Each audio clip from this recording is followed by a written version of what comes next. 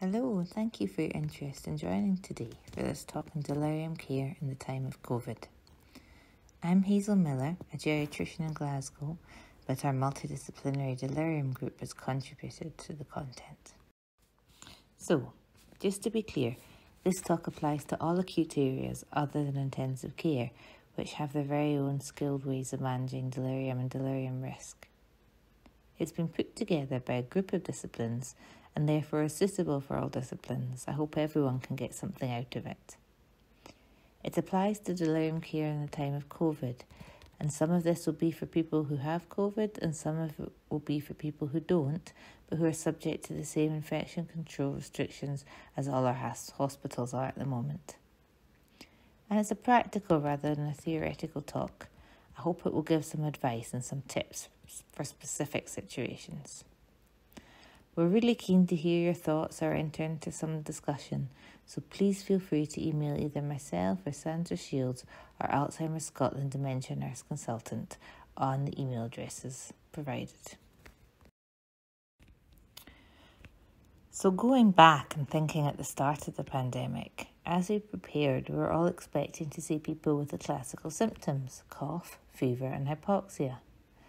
Those of us looking after the frail elderly, however, quickly saw that, as with all illnesses, many of our patients presented in a non-specific way with a more global decline and very many with delirium.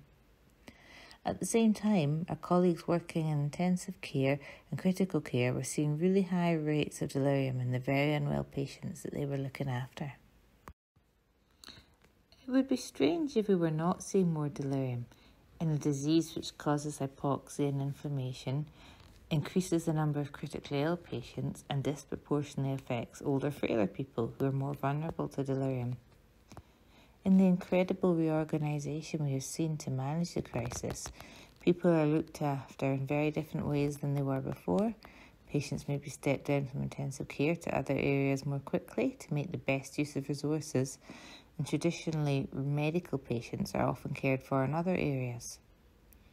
Unfortunately, hospital here in the pandemic is especially high risk for delirium between the PPE, which sometimes makes staff look less human, the loss of continuity of care in the background of staffing pressures as staff self isolate or move to where the need is greatest in that day, multiple ward moves for patients as infection control procedures are maintained, and probably most significantly of all, not being able to see the loved ones. On top of all this, there's a possibility that there are factors specific to COVID related to inflammation or hypoxia, which may make it more likely to cause delirium than other severe illnesses.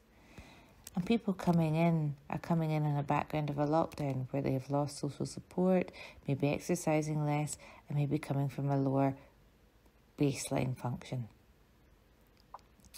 So, dealing with these high rates and severities of delirium that all these factors contribute to can feel very daunting. But the good news, if we can call it that, is that good delirium care in the pandemic isn't materially different to good delirium care in any other time, albeit with some extra challenges and adaptations. We use the same principles and strategies that we already have learnt.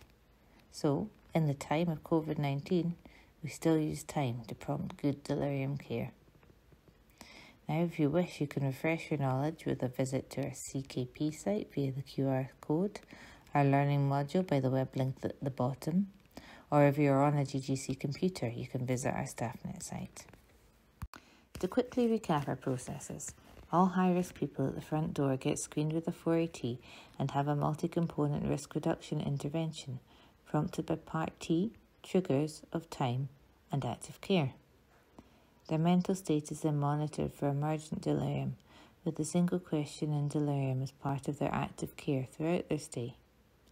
If they develop delirium at any point, a multi component treatment intervention is prompted by all four parts of time T for triggers, I for investigations, M for management, and E for explain and explore.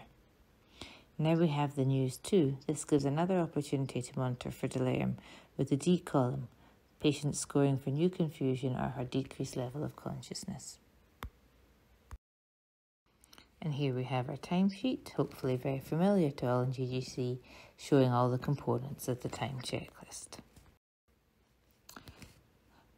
With assessment, it's important to have a really high index of suspicion to keep the idea of delirium in your mind. From the first time the person is assessed, if it's considered early, then it's in the differentials and it's more likely to be followed up on all the way through their stay. And if you don't know, you can write down query delirium. It should be treated as a medical emergency, as a new delirium could be the first sign of someone becoming extremely unwell. Is it indication that your COVID patient has become hypoxic? As a rule of thumb, I would always remember that people who are unwell with COVID need to be assessed for delirium, and people who have delirium need to be assessed for COVID, remembering that in the frail elderly, delirium may be the only presenting feature. Moving on to risk reduction and management of delirium, these are both done via multi component interventions. Currently, the high delirium rates and the challenges in care that we see with no visitors in the deliriumogenic environment mean that we need to do all we can to reduce the risk of delirium, which is associated with at least a twofold increase of mortality. Remember that risk reduction strategies have previously been shown to reduce delirium risk by about a third. When we are looking for risk or causative factors, we need to expect complexity. A person with a delirium may be unwell with a COVID infection, be hypoxic, they may be dehydrated from loss of taste, have poor oral intake from thrush, be immobile as they're on their oxygen, be constipated, have an associated urinary retention, etc., etc. If we address them as prompted in part two of time, we are reducing risk. If the person has already developed a delirium, we continue to address these triggers but also to pay attention to I for investigations, M for management of all the causes that we have found, and E for explaining and exploring. When we diagnose delirium, it's critical that we name it so that these actions are completed and explain it to both the patient and their family. Now, person centered care, as ever, is the key to good delirium care we should really strive to know our patients even better than they normally would, as with no visiting allowed for most of our patients, we are their connection to the outside world. We can get information about them via the Getting to Know Me forms. We can help facilitate meaningful activity. Phones and devices are absolutely invaluable for this at the moment. Therapy sessions, in particular, are really beneficial. They can have personal items dropped off via the Give and Go service run by our fabulous volunteers.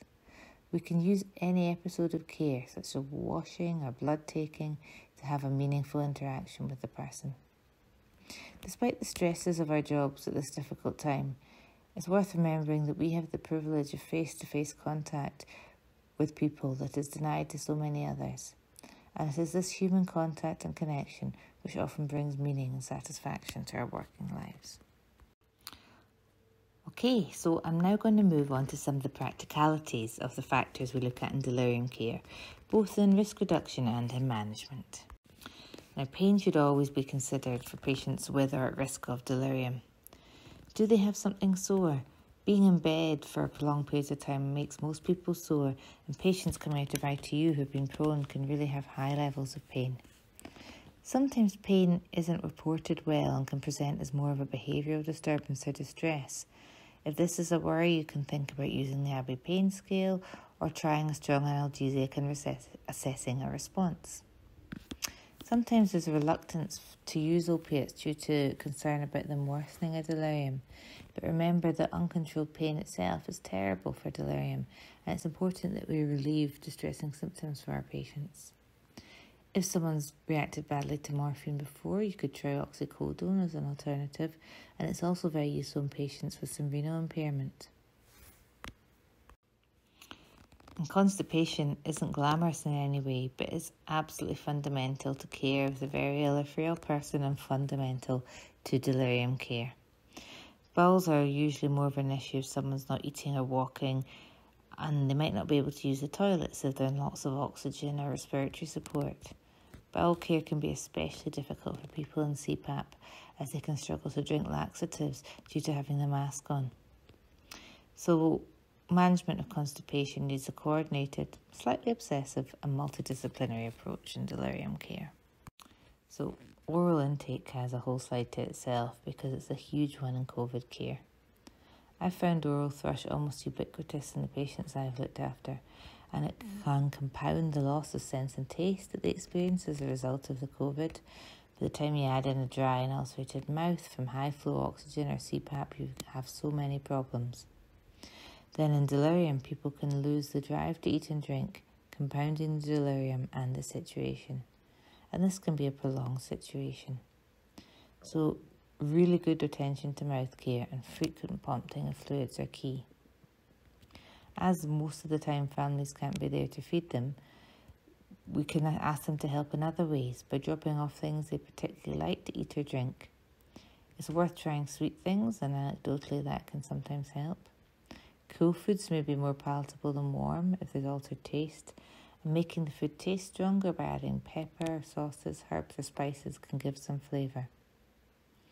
It's really important that a person centred and individualised approach is taken to nutrition and hydration, and we often get support from the dietitian for this. For some patients, this will be the use of oral nutritional supplements or subcut fluids. For other patients, it can be the use of short term artificial tube feeding. Now, when it comes to drugs, medication review in delirium means reducing polypharmacy where possible, as well as cutting down on medications which cause specific concern. And the ones we worry about are the usual suspects. We think about benzodiazepines, um, we think about analgesics, we think about anticholinergics in particular. The things like tricyclics and hyoscine is always one to watch out for as is often prescribed for secretions, but also the cumulative effects of less obviously anticholinergic medications. You might want to think about using one of the tools, such as the anticholinergic cognitive burden tool, which has an easy to use online calculator and gives you an indication of an anticholinergic burden. It's also worth remembering that some medications need weaned and withdrawal can be a problem. Of course, in COVID care, the dexamethasone used is another one which can raise a lot of concern. Personally, I've seen less in the way of hyperactive delirium than I might have expected with it. However, it does occur and can be problematic, in which case we can, can consider stopping or cutting the dose. And of course, raised blood sugars go hand in hand with the dexamethasone use. Our diabetologist colleagues have been kept extremely busy helping advise in this. The guidelines they've produced in diabetes control while on steroids have been really helpful for this situation. A couple of things I would be particularly mindful of in delirium, one of which is the effect of a VRII on a delirium risk or maintenance for a person, as you're really committing to hourly wakening for blood sugar testing and being attached to a drip. And it's also worth thinking of the risk of hypoglycemia in hypoactive delirium if oral intake is reduced. From a sensory point of view, it's absolutely vital to use hearing aids and glasses and make sure that the patients can get the best possible cues from their environment, which can already be so hard to make sense of. It's always worth checking if the hearing aid batteries are working or as the person's ears are full of wax, causing a conductive deafness. With mobility, it's important to remember that prompting this will aid delirium risk reduction and management, as well as their general recovery, by utilising meaningful activity and physical exercise. People who have been very unwell may have really significant weaknesses that need to be worked with. Are they able to do an active range of movement in bed? Are they able to sit on the side of the bed? Are they able to stand to go and sit in a chair? Or are they able to walk? Physiotherapists and occupational therapists are, of course, really key to this process, but it's important that all team members help promote mobility and movement as much as possible. Now, looking after really sick people often involves a lot of lines catheters, venous cannulas, other indwelling devices, monitors, all of which can cause a prolonged delirium. They should really be removed as soon as it is safe to do so. It might be worth challenging or considering in the ward rounds. Are they still needed, or does the risk now outweigh the benefits? Sometimes it might be worth considering if a PICC line would help. It can certainly be kinder and easier for the patient. And another really challenging one is sleep. The sleep wake cycle is so important in delirium care, but it can be a real challenge to promote sleep hygiene in critical care areas or indeed in any other ward. Being thoughtful about checking observations and administering medications overnight, dimming lights and quieting, quieting alarms where safe can all help. It's worth considering if the person could use eye masks or earplugs. We can also aim to keep the person awake and stimulated as much as possible during the day to avoid them getting into a pattern of day night reversal. Communication orientation is again a real challenge with the restrictions that we have, but promoting this will help reduce and manage delirium. It's often possible to FaceTime either on the patient's own phone or perhaps using a device that the virtual patient centred visiting scheme have provided or sometimes a simple phone call with their relatives. Families are probably going to be very anxious about their loved ones, especially if they've picked up on delirium symptoms, and it's worth making sure they're kept up to date and have a diagnosis of delirium explained to them. You might want to signpost them to the Scottish Delirium Association's website, which has a patient and care information leaflet that they can access over the internet. We should always remember that patients might forget where they are I might take the opportunity to remind them where they are and what is happening at every opportunity. Let them know they are in hospital and what your job is before carrying out any care may also help prevent frightening them. Having calendars and clocks clearly visible will help.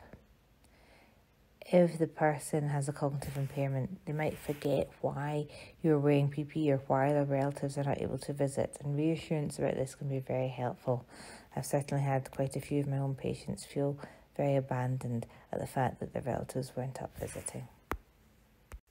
Unfortunately, some of our patients will experience stress and distress, and as before, non pharmacological techniques remain the mainstay of care, treating precipitating factors, de escalation, distraction with activities, speaking to family, and then remember that an essential visitor in this circumstance may become an option. Pharmacological treatment is considered for if these techniques fail and there's either severe distress, danger to others, or danger to the patient themselves, including being unable to accept necessary care. Now, it's really easy to see how this might occur in situations where help is required for breathing support, whether they're needing oxygen or CPAP, and in this case, you need clear thinking as to the benefit and burden to the patient. It's also easy to see how infection control issues may fall under these categories, whether to protect a patient or staff or others from exposure. We might find that we're needing to consider pharmacological therapies in situations where we wouldn't have previously. The BGS, the British Geriatric Society, has given some really good, clear advice on this, which is worth looking at if you find yourself in this situation. Now, as we come towards the end of the talk, I thought it was worth a few notes on delirium in the COVID HDU. Now, the principles here are the same as screening, risk reduction, identification, and multi component interventions along with communication. But there are added difficulties as HDU care is even more deliriumogenic than other areas care. There's a whole extra layer of infection control, including the full PPE worn by all staff, high levels of noise and light, from, which can be up to 24 hours a day, having a CPAP mask on and the restrictions of mobility, which may be associated with that, combined with the critical illness itself, makes COVID HDU a very high delirium risk area. Patients they are often there for some time and take a huge physiological hit, but means that delirium is incredibly likely especially in those with less reserve. And people might be given morphine and midazolam infusions to help with the tolerability of the CPAP, but it can still be a real challenge, and these drugs themselves can promote delirium or prevent it from settling. It's worth thinking about the fact that people who are struggling cognitively may find high dependency care very difficult to manage, and this is one of the factors that should play into the individualised escalation plans that we make for all our patients. And my last practical point is about what happens when you have delirium that doesn't settle. It's become apparent that some people with COVID have a prolonged hypoactive delirium, which can be very difficult to distinguish from someone coming to the end of their life. And of course, this can be very difficult, especially for the loved ones.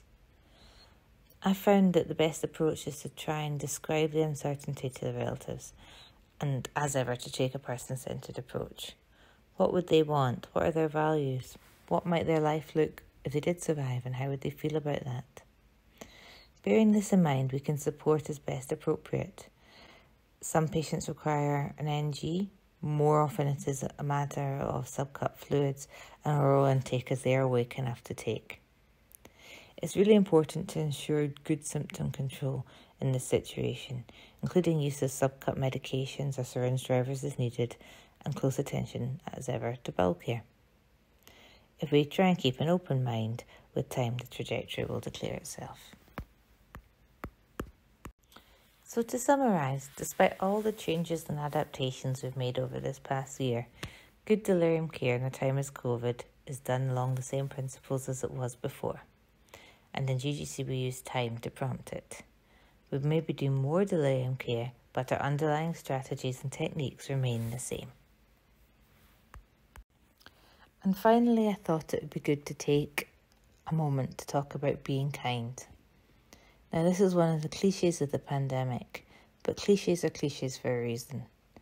Of course, we are kind to our patients, but we also need to be to our colleagues and, even more importantly, to ourselves. Everything we have done this past year has been turned upside down. We are working in new and ever changing situations in terms of staffing, procedures, physical spaces, equipment, hospital visiting in a way that we have never done before it can sometimes feel incredibly frustrating that we're not able to do everything the way we are used to doing it or would like to do it. And I very much include delirium and care in that. A lot of what we do seems at times suboptimal, and we feel we are frequently making difficult compromises. Don't underestimate how hard this is, but also how very important it is. It is by making these pragmatic compromises that we get the best care we can for our patients in a very challenging set of circumstances.